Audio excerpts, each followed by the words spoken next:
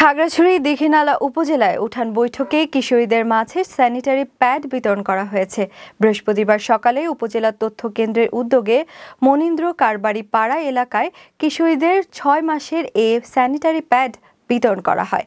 উঠান বৈঠকে উপস্থিত ছিলেন দীঘিনালা উপজেলা নির্বাহী কর্মকর্তা মোহাম্মদ আরাফাতুল আলম। এ সময় উপজেলার প্রজেক্ট ম্যানেজার মোহাম্মদ শহীদুল ইসলামের সভাপতিত্বে বিশেষ অতিথির বক্তব্য রাখেন উপজেলা স্বাস্থ্য কমপ্লেক্সের চিকিৎসক doctor Ritu Barua, training instructor Kanak Baran Tripura এবং সহকারী তথ্য আপা তৃষা ত্রিপুরা প্রমুখ।